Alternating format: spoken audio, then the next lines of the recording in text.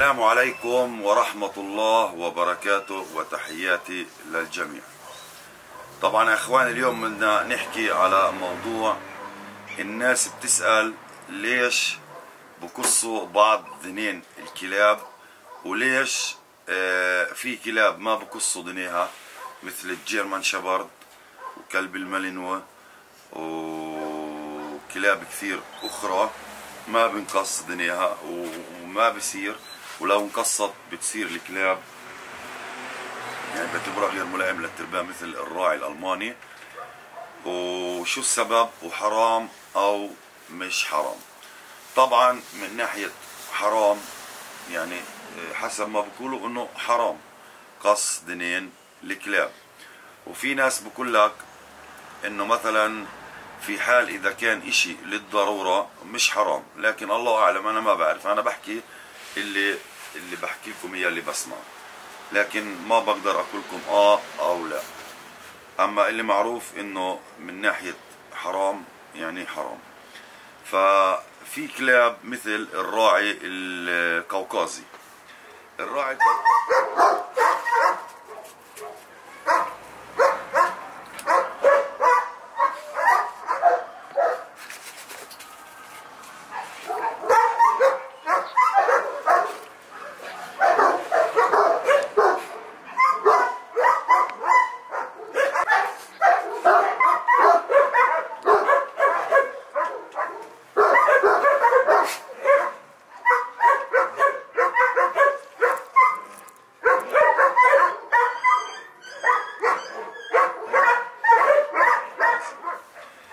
القوقازي مثلا بقصوا دنيا يجب قص دنيا.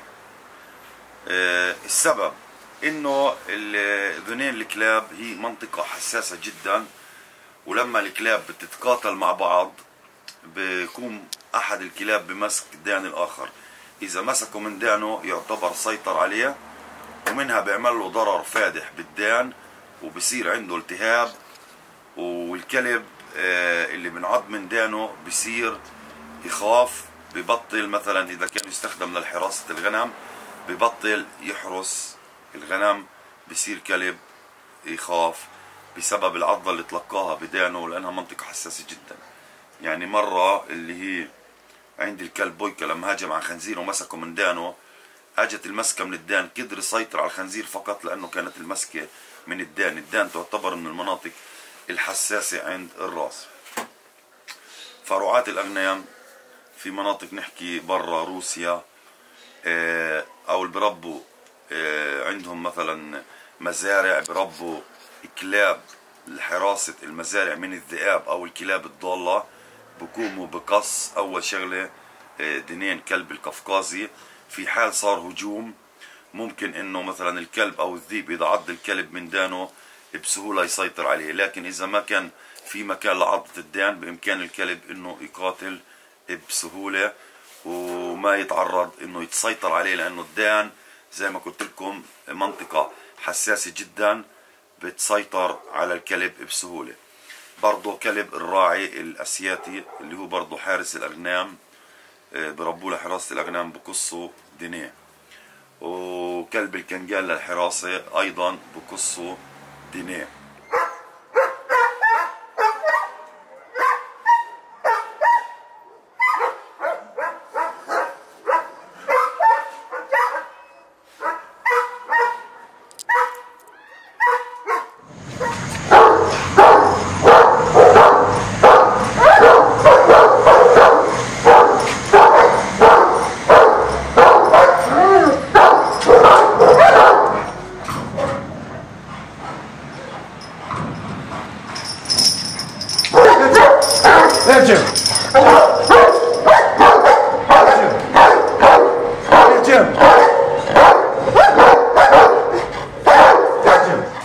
حكيت من ناحية يجوز ما يجوز إذا كان الحراسة أنا ما بعرفش يا إخوان ولا بدي أحكي في الموضوع.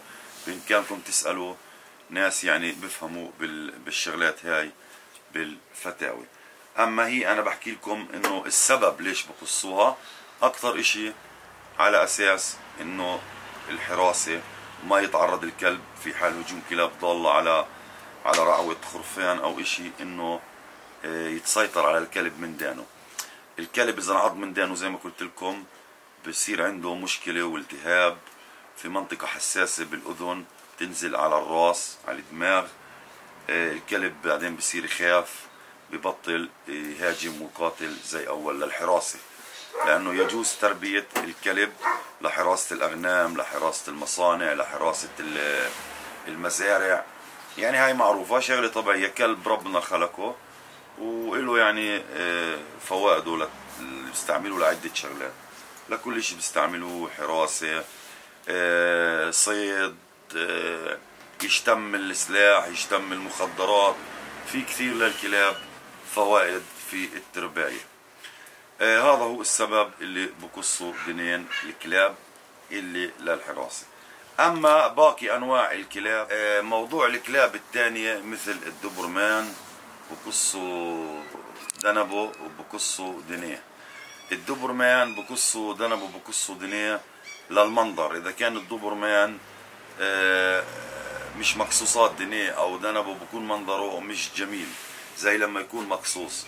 لكن هو بقصوه للمنظر آه الروت مثلا ما بقصوا آه دني بقصوا دنبه هيك متعارف بكل العالم إنه بقصوا بس ديله آه للمنظر. كثير كلاب بقصوها للمنظر. كلاب مثلا البيتبول بقصوا الدنين للمنظر. كلب